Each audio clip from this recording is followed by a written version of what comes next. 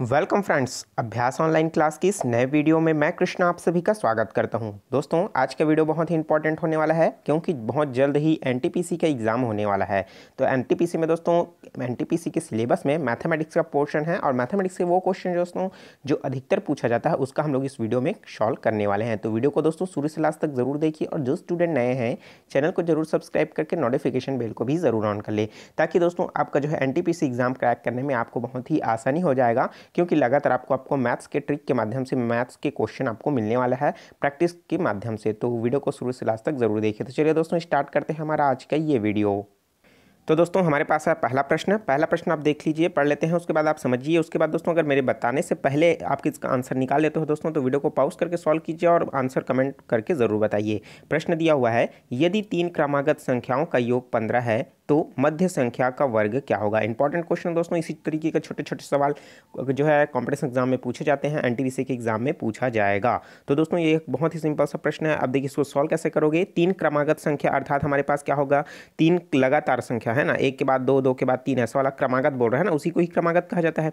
तो हमारे पास तीन ऐसी संख्या है जो क्रमागत तो है, लेकिन अगर तीनों को जोड़ देते हैं तो हमारे पास कितना आता है? उसका योग जो है दोस्तों, पंद्रह के बराबर आ जाता है। तो उस संख्या का जो मध्य वाला वर्ग है है ना? मध्य संख्या का वर्ग क्या हो जाएगा? हमको ये बताना है। अब इसको सॉल्व करने के लिए कैसे करोगे? देखिए, तीन क्रमागत बोल दिया, चार क्रमागत बोल दे, पाँच क्रमागत बोल दे और उसका योग दे दे। तो हमको क्या बोले करना है? दोस्तों, जितना भी क्रमागत निकालने के लिए दिया है, हमको क्या करना है? उस योग से भाग दे देना है, ठीक है? तो यहाँ पास पंद्रह हमारे पास योग दिया है और कितना निकालना है? तीन क्रमागत निकालना है। तो क्या करेंगे? तीन से भाग दे देंगे। तो आने वाली जो संख्या होगी, हमारा वो क्या हो जाएगा? मध्य का होगा, ठीक है? मध्य का होगा, अर्थात क्या हो जाएगा? अगर हम लोग इसको भाग दे देते हैं तो क्या हो जाएगा? तीन एकम तीन तीन पंचे पंद्रह। हमारे पास मध्य की संख्या कितना हो जाएगी?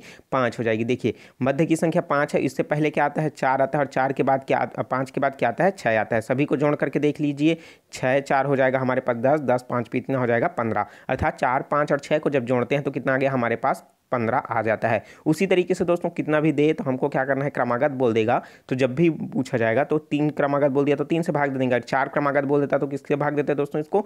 चार से भाग दे देते ठीक है? अब इसमें प्रश्न में आगे ये बोल रहा है कि हमारे पास मध्य संख्या कितना है दोस्तों? पाँच आ गया। अब इसका वर्ग बोल रहे हैं ना तो मध्य वर्ग, मध्य संख्या का वर्ग क्या होगा? तो पाँच का वर्ग क्या हो जाएगा? पाँच गुणा पाँच पाँच हम पच्चीस। तो हमारा बी ऑप्शन दोस्तों दिखाई दे रहा है पच्चीस। तो हमारा बी ऑप्शन क्या हो जाएगा? सही हो जाएगा। बहुत सिंपल था ट्रिक था दोस्तों। अगर आपको ये समझ नहीं आ रहा है कि क्या करना है, भूल गए हो आप तो कैसे करोगे आप इसको? तीन क्रमागत संख्या बोल रहे हैं तो तीन क्रमागत क्या मान लो? हमारे पास क्या हो जाएगा? एक तो एक्स हो जाएगा। अब लॉन्ग मेथड बता रहा हूँ दोस्तों आपको, ठीक है? अगर वो लॉन्ग टाइम आपको याद रहेगा इक्वेशन के माध्यम से। ठीक है तो हमारे पास क्या हो जाएगा? एक्स हो गया। पहली संख्या अब क्रमागत बोल रहा है तो क्या हो जाएगा? दूसरी संख्या क्या हो जाएगा? एक्स प्लस टू हो जाएगा। और तीसरी संख्या क्या हो जाएगा? हमारे पास सॉरी ये हो जाएगा, हमारे पास x हो जाएगा, x प्लस वन हो जाएगा, उसके बाद क्या हो जाएगा, x प्लस टू हमारे पास ये x हमारे पहले, पहली संख्या, x प्लस वन हमारे पास दूसरी संख्या, x प्लस टू हमारे पास क्या हो जाएगा, तीसरी संख्या। अब इन सभी को क्या कर देते हैं, योग है तो मतलब सब बीच में क्या कर देंगे प्लस प्लस लगा देंगे और योग कितने के बराबर है, पंद्रह के बराबर है। सभी को जोड़ दो। हमारे चर चर संख्या जितने हैं, वो सबको जोड़ देते हैं और अक्षर को पहले जोड़ देते हैं। अक्षर हमारे पास कितना है, तीन है। एक है अक्षर दो है ये अक्षर और ये है तीन। अक्षर तो कितना हो जाएगा, ये हमारे पास हो जाएगा थ्री एक्स हो गया। अब देखिए, अब हमारे पास जो अचर संख्या है वो कितना है?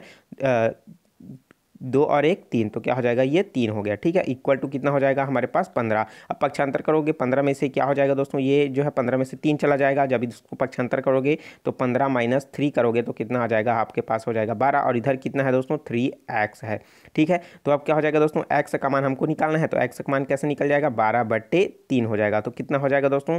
तीन चौंक हो जाएगा बारह, ठीक है? तो अब देखिए, चार आया। तो चार क्या है? हमारे पास एक्स माने थे। तो एक्स हमारे पास क्या है? पहली संख्या। और दूसरी संख्या क्या है? एक्स प्लस वन है, ठीक है? तो हमारे पास एक्स कितना है? आया हमारे पास चार आया और प्लस वन है, हमारी दूसरी संख्या तो प्लस वन कर देंगे तो हमारे पास कितना आ जाएगा? पाँच आ जाएगा। तो पाँच हमारा क्या हो जाएगा दोस्तों? मध्य की संख्या और आंसर क्या निकालना है हमको? मध्य संख्या का वर्ग निकालना है। तो पाँचम कितना हो जाएगा? पच्चीस। तो हमारा बी ऑप्शन क्या हो जाएगा? सही हो जाएगा। सिंपल सा था, ठीक है? बताने के लिए दोस्तों मैंने लॉन्ग टर्म जो है आपको दोनों मेथड समझा दिए शॉर्टकट मेथड और दोनों लॉन्ग टर्म मेथड ठीक है? तो आपको जो अच्छा लगता है, आप उसको यूज़ करके आप निकाल सकते हो। चलिए, देख लेते हैं दूसरा दोस्तों, हमारा प्रतिशत से संबंधित प्रश्न है। इस तरीके का प्रश्न भी लगातार पूछा जाता है कॉम्पिटिशन एग्ज़ाम में। इससे अलग अलग तरीके से भी घुमा के पूछता है।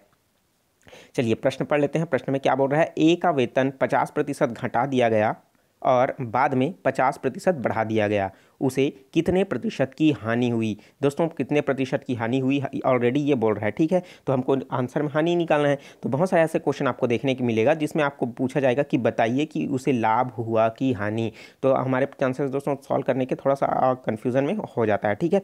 तो आप इसमें इसमें ऑलरेडी हानि दिया है तो हानि वाले निकालना है, ठीक है? तो देखिए, हमारे पास क्या है? ए का वेतन कितना है? पचास प्रतिशत घटा दिया गया। मान लो क्या करेंगे? अब इस तरीके का आता है तो जब भी मानते हैं प्रतिशत में हमको क्या मान लेते हैं? सौ से स्टार्ट करते हैं? मान लो क्या है ए का वेतन कितना है दोस्तों? सौ है। तो सौ का दोस्तों पचास प्रतिशत घटा दिया गया। अब सौ का दोस्तों पचास प्रतिशत घटा देंगे तो हमारे पास कितना आ जाएगा? सौ का पचास प्रतिशत का मतलब गुणा प्रतिशत का बटे सौ हो जाएगा।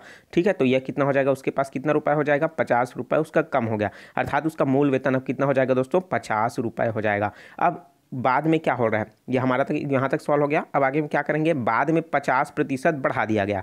अब देखिए, पचास का फिर से पचास प्रतिशत बढ़ा देंगे तो कितना हो जाएगा दोस्तों? पचास का फिर से हम लोग क्या करेंगे? पचास प्रतिशत फिर से बढ़ा देंगे। अर्थात उसका जो है पचास रुपये उसको मिला, ठीक है?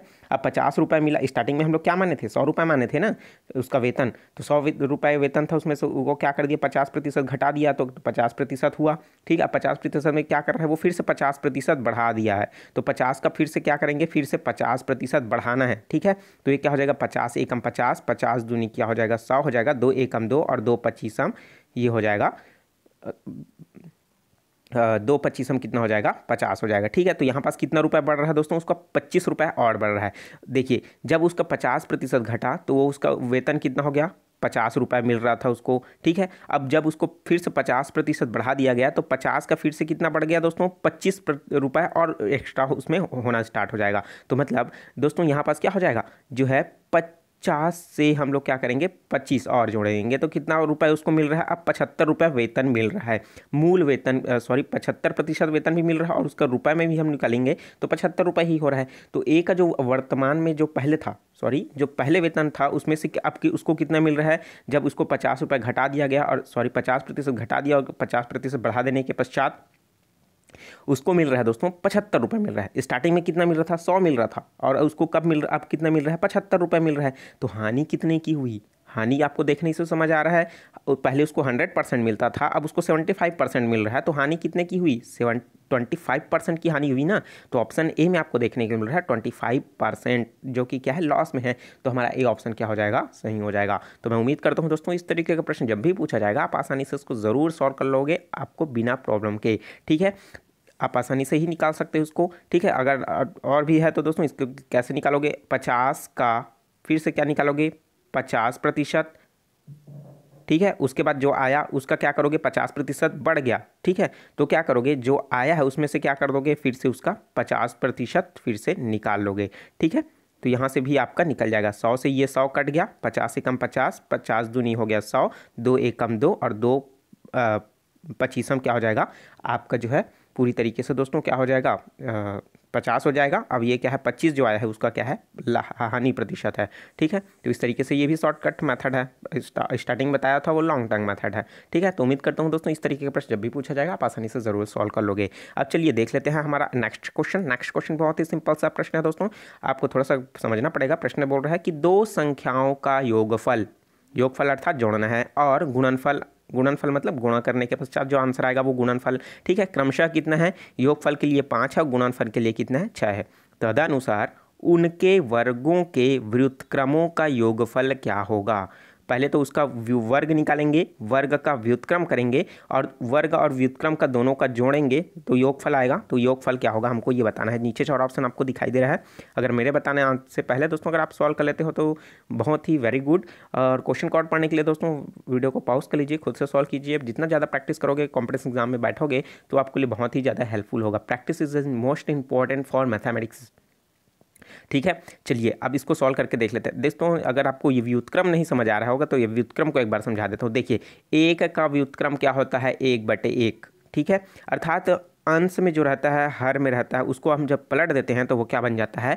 हमारा व्युत्क्रम बन जाता है। जैसे देखिए, छत्तीस बटे तेरह दिया है, इसका व्युत्क्रम लिखूँगा तो क्या हो जाएगा? तेरह बटे हो जाएगा, छत्तीस हो जाएगा, ठीक है? पाँच बटे छः का व्युत्क्रम क्या हो जाएगा? छः बटे पाँच हो जाएगा। अंश का हर में चला जाता है, हर का कहाँ आ जाता है, अंश में आ जाता है। यही क्या कहलाता है? व्युत्क्रम कहलाता है। चलिए स्टेप बाय स्टेप सॉल्व कर लेते हैं। दो संख्याओं का योगफल और गुणनफल पाँच है।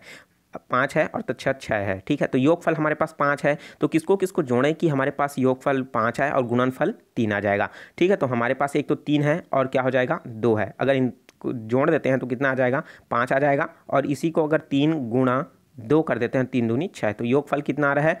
हमारे पास पाँच आ रहा है और गुणनफल कितना आ रहा है?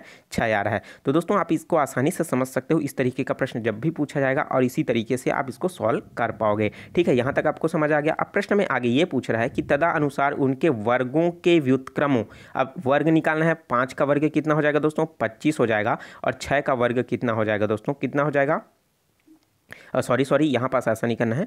देखिए, हमारे, हमको क्या करना है? संख्या का वर्ग निकालना है, ठीक है? किसका वर्ग निकालना है? संख्या का वर्ग। हमारे पास क्या है? तीन है संख्या तो तीन का वर्ग कितना हो जाएगा? तीन तिया हो जाएगा नौ। और दूसरी संख्या क्या है? हमारे पास दो है तो दो दूनी हो जाएगा, चार हो जाएगा, ठीक है? अब इनके व्युतक्रम बोल रहे हैं तो नौ का व्युतक्रम क्या हो जाएगा? एक बट्टे नौ हो जाएगा, और चार का व्युतक्रम क्या हो जाएगा? एक बट्टे चार हो जाएगा। अब इसको सॉल्व करना है दोस्तों तो क्या हो जाएगा? योग करना है, क्योंकि योग फल बोला है तो योग फल करेंगे तो चार आ जाएगा। अब देखिए, हमारे पास भिन्न मिल गया एक बटे चार धन एक ब, एक बट्टे नौ। इन दोनों को अगर आप जोड़ोगे तो क्या आएगा? आंसर जो आएगा वही क्या है? राइट आंसर हो जाएगा। ठीक है? तो भिन्नों का योग भिन्नों का गुणनफल भिन्नों का घटाव भिन्नों का भाग ये सब आपको आना चाहिए। बेसिक चीज़ें हैं बहुत ही इंपॉर्टेंट होता है। कहीं भी इसका यूज़ हो ही जाता है। ठीक है? अब देखिए अब इसको सॉल्व करोगे दोस्तों तो क्या होगा? सबसे पहले आपको निकालना होगा यहाँ पास इसका जो निकालोगे दोस्तों क्या निकालोगे? यहाँ पास आपको निकालना होगा इसका लघुत्तम समापवर्तन नौ और चार का लघुत्तम निकालोगे दोस्तों नौ चौक कितना हो जाएगा? छत्तीस हो जाएगा। तो छत्तीस का छत्तीस हो जाएगा। अब देखिए, नौ है, उसको छत्तीस बनाना है तो क्या करोगे? चार का गुणा करोगे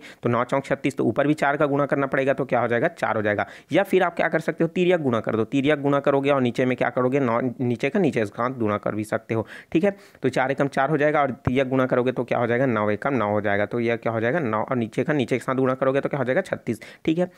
लेकिन ये ऐसा ही होता है कि हर को बराबर जो लघुत्तम आया है, उसको बराबर करने के लिए अंश और हर में गुणा करते हैं। वो क्या है? बेसिक है। वो राइट जो है थॉट है। अगर जो तिरिया गुणा करते हो तो वो है दोस्तों सिर्फ़ समझने के लिए कहा जाता है कि उसको तिरिया गुणा कर रहे हैं। ठीक है? जब इसको सॉल्व करेंगे तो हमारे पास क्या हो जाएगा? नौ और चार दोस्तों कितना हो जाएगा? हमारे पास आ जाएगा तेरह और बट्टे में कितना आ जाएगा? छत्तीस। ठीक है, कितना आ जाएगा? छत्तीस। तो तेरह बटे छत्तीस इज़ क्या हो जाएगा? राइट आंसर हमको कौन सा ऑप्शन में देखने को मिल रहा है? ए ऑप्शन में देखने को मिल रहा है। तो ए ऑप्शन क्या हो जाएगा दोस्तों? हमारा सही हो जाएगा। तो मैं उम्मीद करता हूँ दोस्तों, इस तरीके का प्रश्न जब भी पूछा जाएगा, आप आसानी से ज़रूर सॉल्व कर लोगे। देखिए, प्रश्न में क्या बोल रहा है? एक बार फिर से बता देता हूँ। दो संख्याओं का योग दिया है हमारे पास। तीन और दो को जोड़ते हैं तो पाँच। प्रश्न के अकॉर्डिंग पुट हो रहा है। गुणन फल बोल रहा है कि दोस्तों, तीन गुना दो करेंगे तो आ जाएगा छः अब उनके वर्गों का व्युतक्रम। वर्ग निकालेंगे, तीन का वर्ग क्या आएगा? नौ आएगा, दो का वर्ग निकलेगा, चार। अब इसका व्युतक्रम निकालेंगे दोस्तों। हम तो क्या हो जाएगा नौ का व्युतक्रम आएगा, एक बटे नौ प्लस चार का व्युतक्रम निकालेंगे, एक बटे चार। दोस्तों, मेरे बोलने में अगर आपको स्पीड लग रहा हो तो आप सेटिंग में जा करके स्पीड को आप मेंटेन कर सकते हो।